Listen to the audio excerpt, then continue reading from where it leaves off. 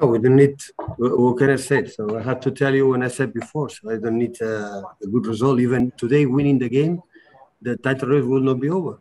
So in January, no one is champion. So many games, many tough games like today must be played, and and that's all. So we play to be you. We play to play good, to, to try to defend our badge and our people as best as possible, and the titles will be a consequence for what we have done. And today was was really good what we have.